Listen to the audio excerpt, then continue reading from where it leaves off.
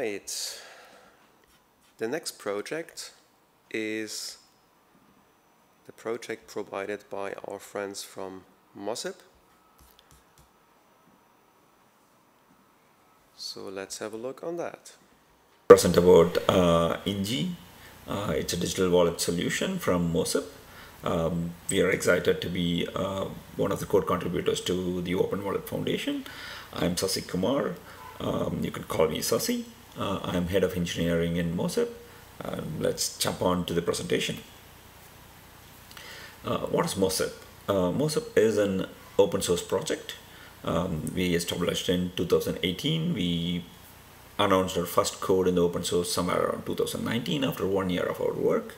Um, and from then on, we have been building projects um, in the open for all the countries to use. Our predominant customers are countries who enable their citizens to have a national ID.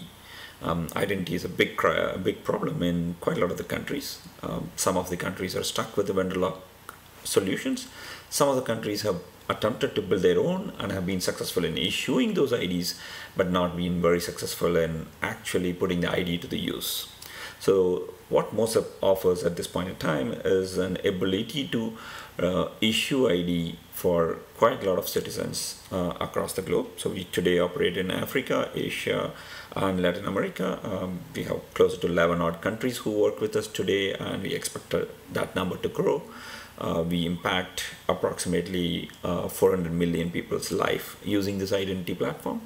Um, 100 million people have received already IDs uh, with this particular, particular platform and they've been uh, using their IDs to uh, avail social services or social benefits from their respective governments. Uh, the project is hosted out of um, a university called Triple ITB. Uh, this project is a non-profit. Uh, we've been currently sponsored and funded by Bill and Melinda Gates Foundation, NORAD, and Pratiksha Trust. Okay, so uh, what does Inji do Inji do with MOSIP, right? Um, in, in some of you for whom Inji is a relatively new word, um, it's a Korean language word. Uh, it essentially means recognize. How do I bring recognition to the individual? And that is why we named our wallet as Inji. Inji is a reference implementation um, to enable countries uh, to provide their citizens with a wallet where they could have the mobile ID which are in the mobile for them to use. And uh, the wallet has been um, in under development with us uh, for almost uh, a year and a half now. Um, we have been working on various um, trial and errors and POCs across our customer base, uh, testing the uh, wallet in the market. Um, so it comes with relatively a huge amount of experience and the field knowledge that we gained by using it in um, countries in Asia and Africa.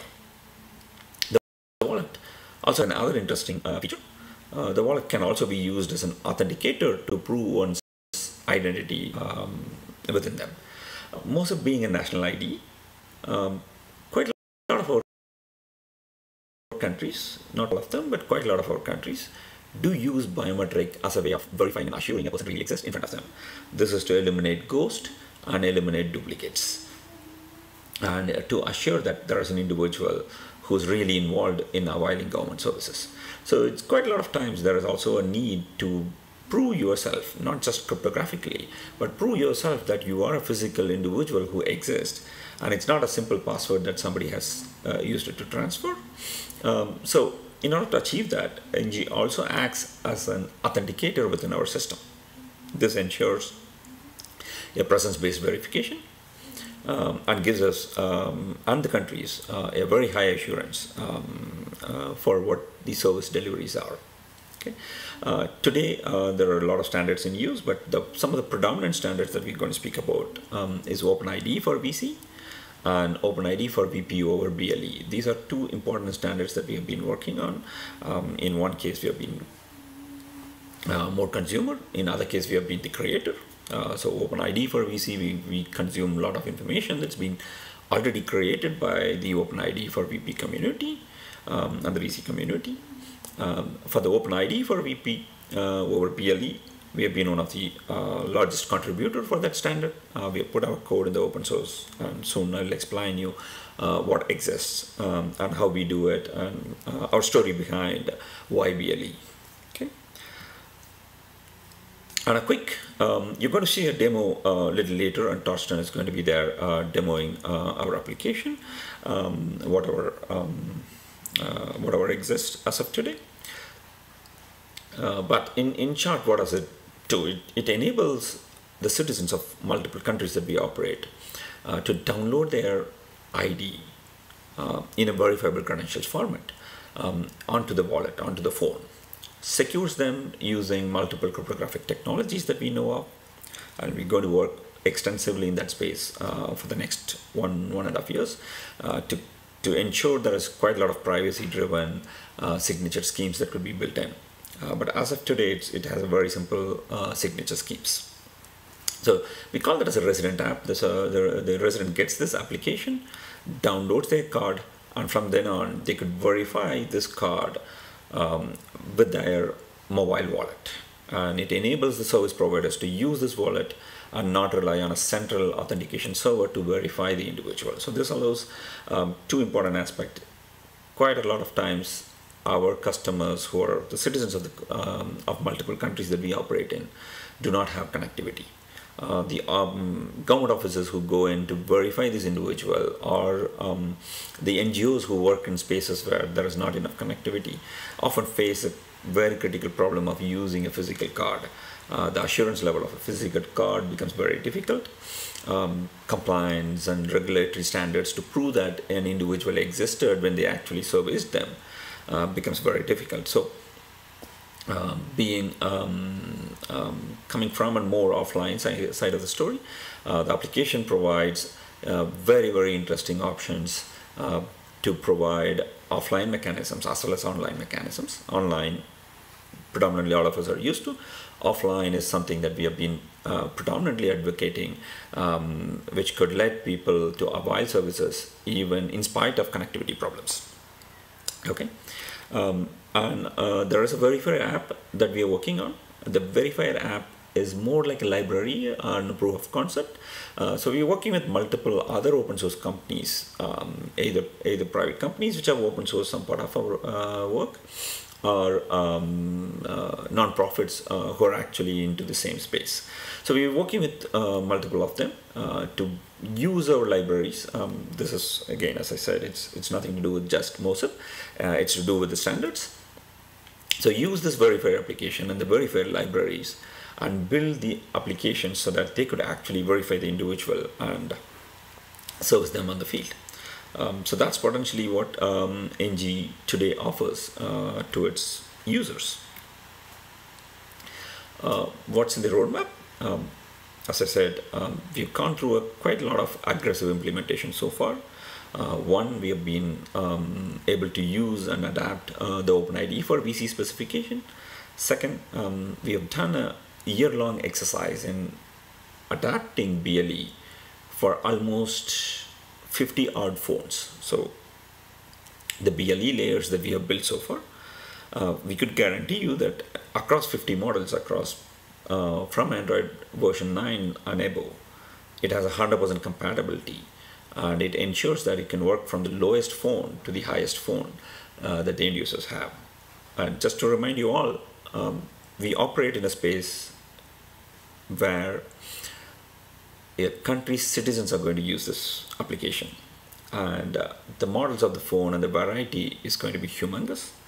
And in the next one year we're expecting that we will learn quite a lot. So Inji comes with pre-built um, telemetry protocols uh, to ensure we can collect a lot of these information back to help the citizens better. Obviously uh, privacy is a big game we do not collect anything private about the user there is no location, there is no information about who you are.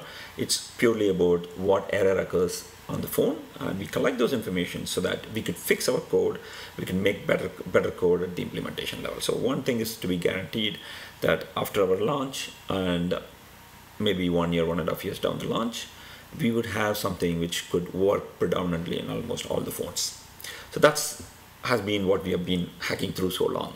But what's up next. The next stories are going to be a lot more interesting. Uh, one of our work um, has been uh, on analyzing the SDJWT standards, and we are excited um, that uh, we're going to work on that standard. Um, obviously, there is a final go ahead that uh, we are expecting uh, with our research community here.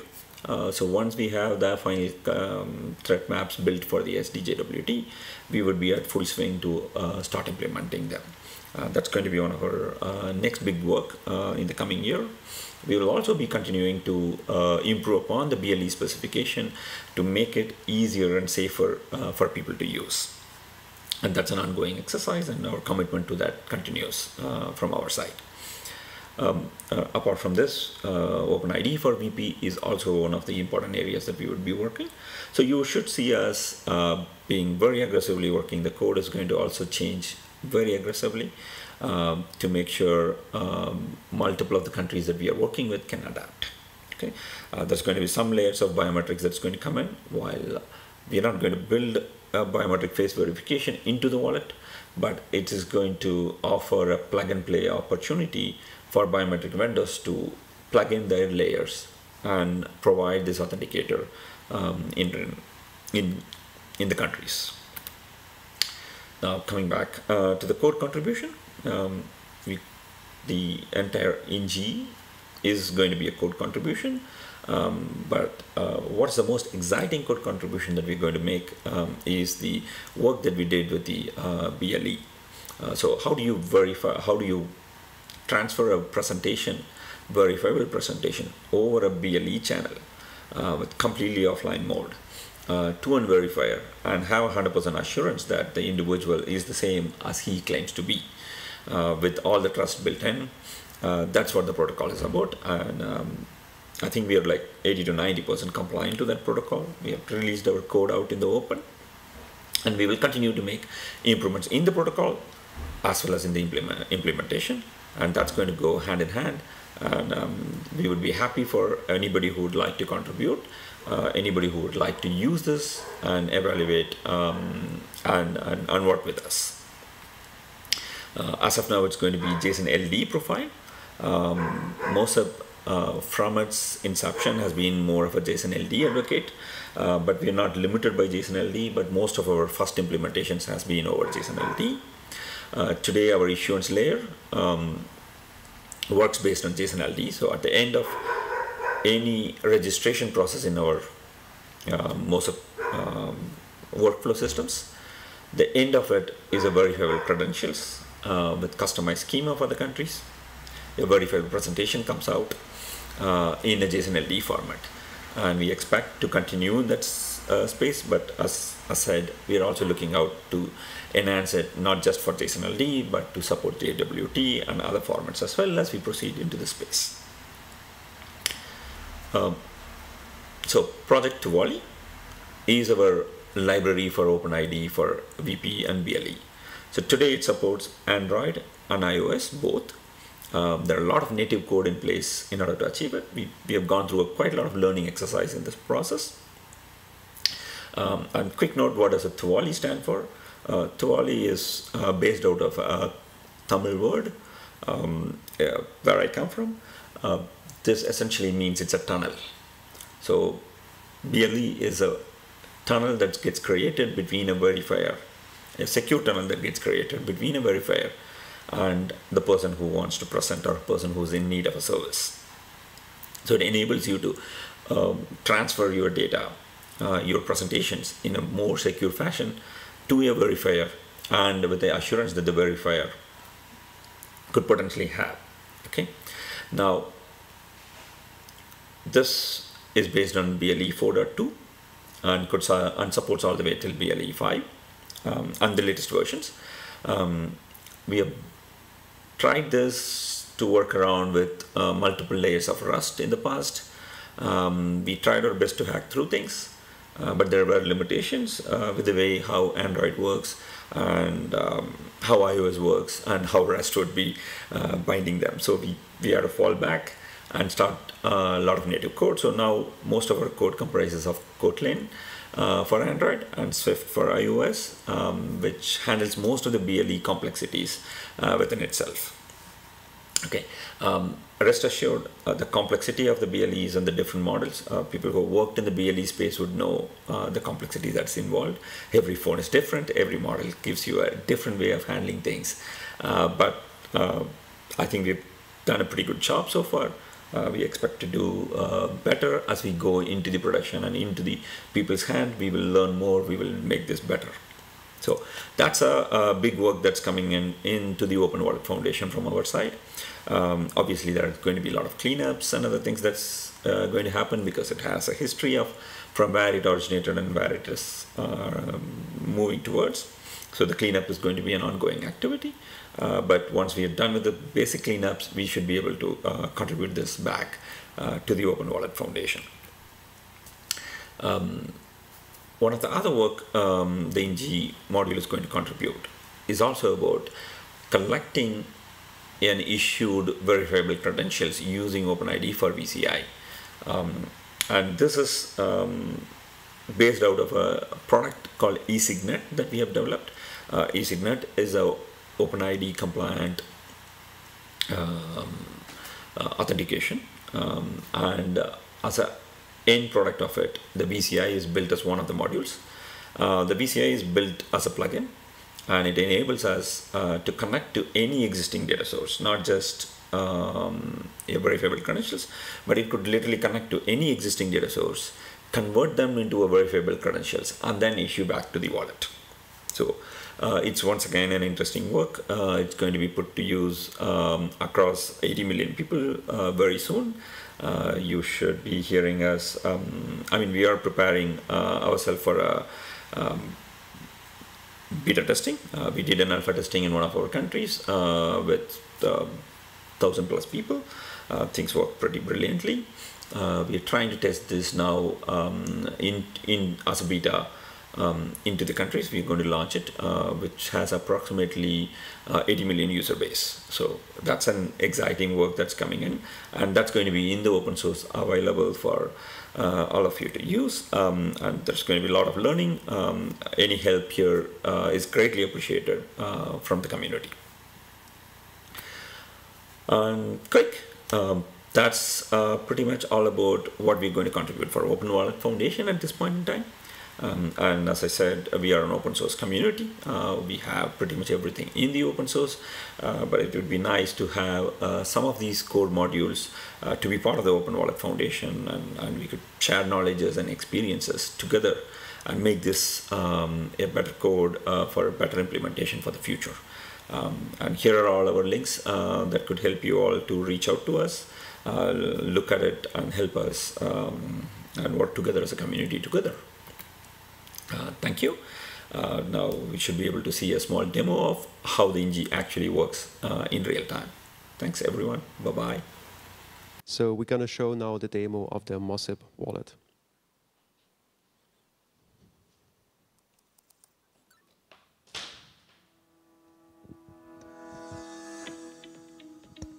Inji, as we are aware, is a mobile application that facilitates storage of verifiable credentials in a single digital wallet and further facilitates sharing credentials with decentralized verification of identity in an offline mode through Bluetooth. In this demonstration, we will showcase how a resident can use the Inji application to first download and then share his or her credential with a service provider to avail the required services. For this, the resident opens the app and opts to download the card, which is the national ID in our case. The resident provides the UIN or VID number as available. So let's enter the UIN and initiate the download process. Note that the initial download needs to happen in an online mode and at this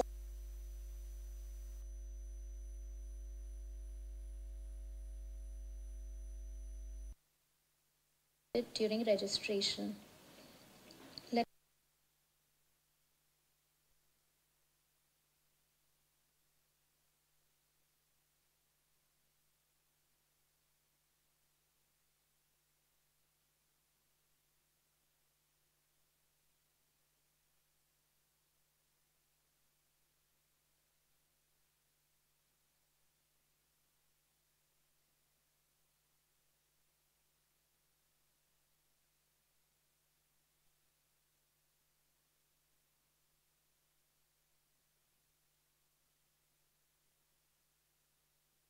Be configured to be used based on the nature of service being delivered and the level of assurance required to avail it. Let's first carry out a simple sharing of the card by clicking on the share option. Upon successful sharing of the card, the service provider receives it on his application. Further, the service provider can also view the card in the received cards section. Let's now share the card with the selfie option. For this, the resident clicks on the scan option, scans the requesting QR code and clicks on share with selfie. The resident captures a selfie and submits it for face verification against the photo held in the card. Upon successful verification, as we see, the card will be shared with the service provider. In this manner, Inji can be used by residents to securely download, store, and share cards in the form of verifiable credentials with service providers to avail services. Find more information on how to set up and install Inji at docs.mosip.io slash Inji or reach out to the MOSIP team through community.mosip.io to send us your comments and queries. Thank you.